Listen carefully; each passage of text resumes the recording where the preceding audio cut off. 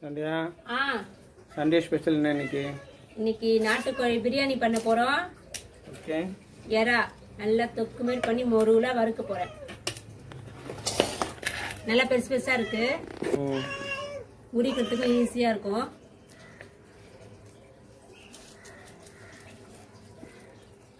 Okay. Clean பண்ணலாமா? அவ்வளோதானே இன்னைக்கு? அவ்வளோதான் இன்னைக்கு. என்னென்ன செய்ய போகிறேன் நாட்டுக்கோழி பிரியாணி எறா வறுவல். ஓகே. ஹாய் ஃப்ரெண்ட்ஸ் நான் உங்கள் சந்தியா பேசுகிறேன் இன்னைக்கு நாட்டுக்கோழி பிரியாணி எப்படி பண்ணுறதுன்னு பார்க்கலாம். நாட்டுக்கோழி நல்லா கழுகி மஞ்சத்தூள் போட்டு வச்சுருக்கேன். இது அரை கிலோ. அதுக்கு நல்லா பெரிய வெங்காயம் ஒரு மூணு நீட் நீட்டாக கட் பண்ணியிருக்கேன். மூணு ரெட் க்ரீன் சில்லி நீட் நீட்டாக கட் பண்ணிக்கோங்க. தக்காளி பெரிய தக்காளி நான் ஒன்று தான் போட்டுறேன். நீட் நீட்டாக கட் பண்ணி வச்சுருக்கேன். ரெண்டு பேருக்கு தேவையான ரைஸ் போட்டிருக்கேன். நல்லா கழுகி வச்சுருக்கேன். இஞ்சி பூண்டு பேஸ்ட்டு புதினா கொத்தமல்லி எண்ணெய் ஜீரகம் வச்சுருக்கேன். கொஞ்சம் ரெட் சில்லி பவுடர் பட்டை லவங்கம் ஏலக்காய் ரெண்டு போட்டுக்கோங்க. இது ஒரு பூவு. இது பிரியாணியில் போடுவோம். இது பனானான்னு சொல்லுவாங்க. இது பட்டை. இது ரெண்டும் ஏன் போடுறேன்னா இது வந்து ரொம்ப ஸ்மெல் வரும். அதனால் இது போட்டிங்கன்னா அவ்வளோவா ஸ்மெல் இருக்காது. ஸோ தயிர் கொஞ்சம். இதுதான் இந்த பிரியாணிக்கு தேவையான பொருட்கள். இப்போ நான் பண்ண போகிறேன் குக்கர் நல்லா காஞ்சிச்சு. எண்ணெய் ஊற்றிக்கலாம்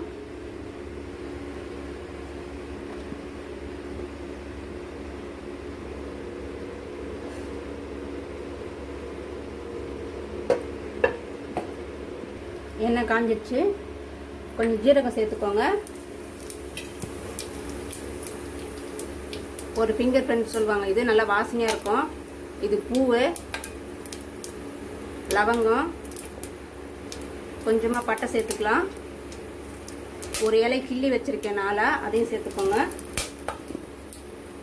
ஏலக்காய் நசுக்கி போடுங்க. அப்படியே போடாதீங்க.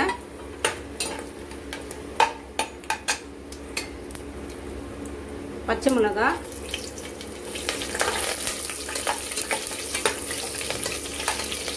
நீட்டாக நறுக்கி வச்ச வெங்காயம்.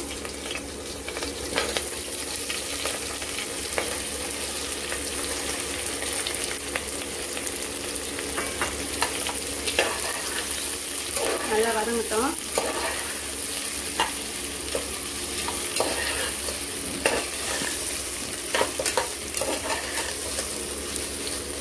நல்லா நசுக்கி வச்சுருக்கேன். அதை சேர்த்துக்கோங்க. அரைச்சி போட்டதோட நசுக்கி போட்டிங்கன்னா நல்லா டேஸ்ட்டாக இருக்கும். அதையும் இது கூடவே சேர்த்து நல்லா வதக்கிக்கோங்க.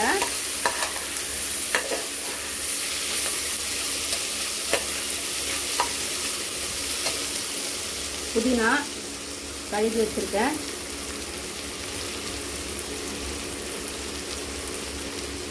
கொத்தமல்லி இலை.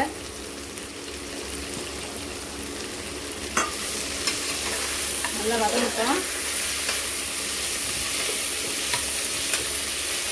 நசுக்கி போடும்போது நல்லா வாசனையாகவும் இருக்கும் நல்லா டேஸ்ட்டாகவும் இருக்கும். கொஞ்ச நேரம் வதங்க பாருங்கள் நல்லா வதங்கிடுச்சு. இஞ்சி பூண்டு பேஸ்ட் நல்லா வாசனை வருது. இப்போ தக்காளி சேர்த்துக்கலாம்.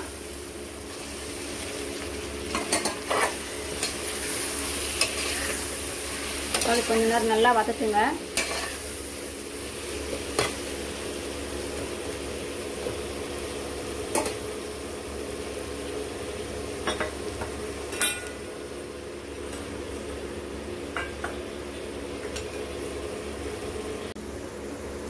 பாருங்க நல்லா வதங்கிடுச்சு. இப்போ நம்ம நாட்டுக்கோழியை சேர்த்துக்கலாம்.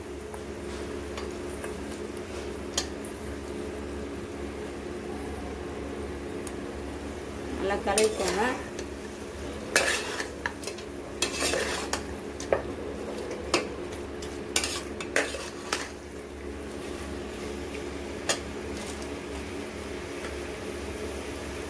இது பாருங்க ரெட் சில்லி பவுடரு கடையில் தான் கிடைக்கும்.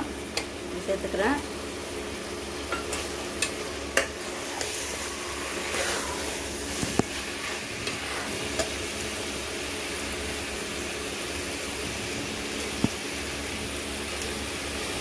பிரியாணி மசாலா.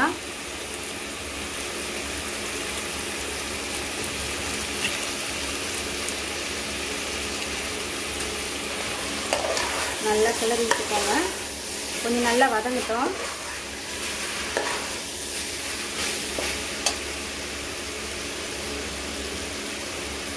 உப்பு சேர்த்துக்கலாம்.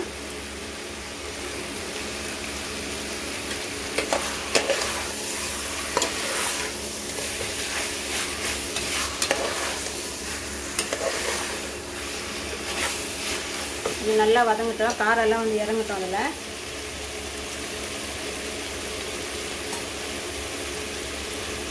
தயிர் சேர்த்துக்கோங்க.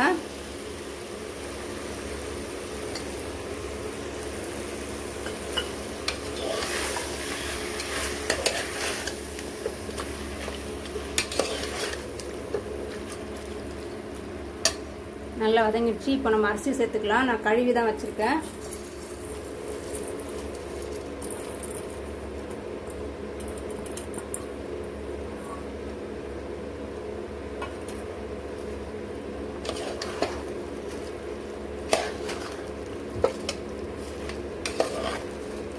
நல்லா கிளறி விட்டுக்கோங்க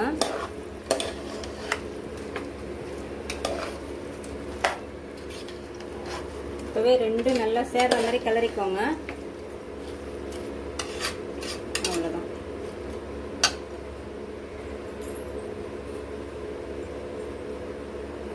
தண்ணி சேர்த்துக்கலாம்.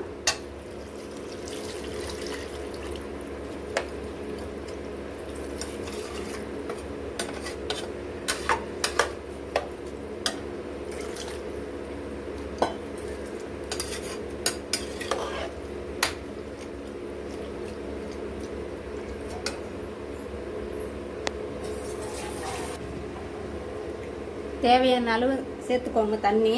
இது வந்து அரை கிலோ சிக்கனுக்கான அரிசியும் தண்ணியும் தான் போடுறேன். உங்களுக்கு எவ்வளோ தேவை அந்த அளவுக்கு நீங்கள் போட்டுக்கோங்க.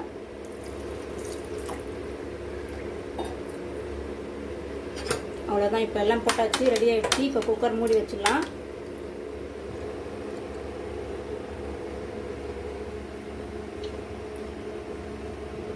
ரெடி ஆயிடுச்சு இப்போ.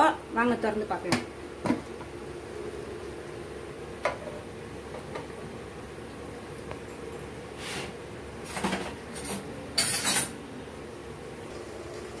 சுவையான நாட்டுக்கோழி பிரியாணி ரெடி ஆயிடுச்சு. நீங்களும் உங்கள் வீட்டில் செஞ்சு பாருங்கள் இந்த சேனலை சப்ஸ்கிரைப் பண்ணாதவங்க சப்ஸ்கிரைப் பண்ணிக்கோங்க. அப்போ தான் நாங்கள் அடுத்தடுத்து வீடியோ போகிறது கண்டினியூஸாக உங்களுக்கு வரும். நிறைய பேர் கமெண்ட்ஸில் கேட்டுருக்கீங்க. சமையல் வீடியோ ஃபுல்லாக போடுங்கன்னு. இப்போ நான் தொட போடுறதுக்கு ஸ்டார்ட் பண்ணிட்டேன். நீங்கள் பாருங்கள் ஹாய் ஃப்ரெண்ட்ஸ் நாட்டுக்கோழி பிரியாணி ரெடி ஆயிடுச்சு. சாப்பிட்றோம். பிரியாணி. எறாத்து. போடு.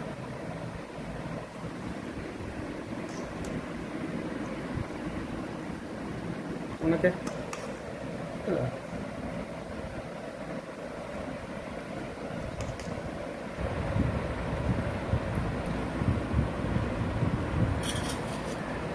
சாப்பிடலாமா ஓகே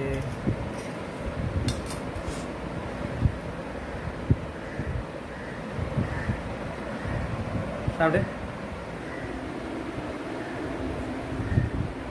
செம்ம டேஸ்ட்டாக இருக்கா ஹாய் ஃப்ரெண்ட்ஸ் நாட்டுக்கோழி பிரியாணி எறா ஃப்ரை நாங்கள் சாப்பிட போகிறோம் நீங்களும் உங்கள் வீட்டில் என்ன செஞ்சுருக்கீங்களோ அதை சாப்பிடுங்க. சாப்பிட்டு கமெண்ட் கமெண்ட்ஸ் பண்ணுங்கள் பாய்